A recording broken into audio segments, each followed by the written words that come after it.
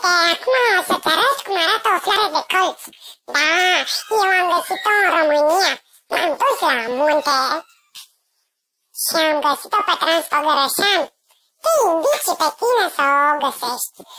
Este rară și este protejată de lege, dar una merită să o pui în ramă și o poți lua ca suvenir pentru prietenii tăi cei dragi. Este o purtătoare de noroc. Mă